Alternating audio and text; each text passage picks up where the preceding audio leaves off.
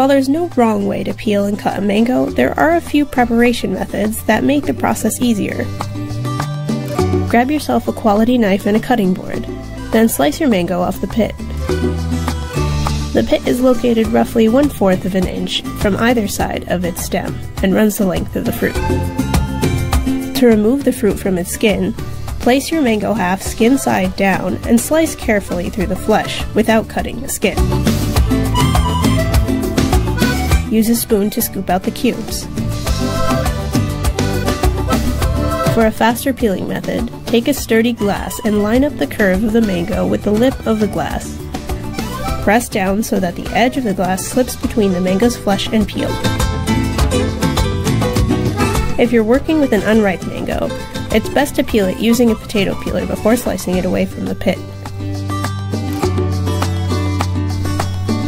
If you're looking to enjoy your mango solo, you can try slicing it around the middle. Twist it until the flesh releases from the seed and repeat with the other side.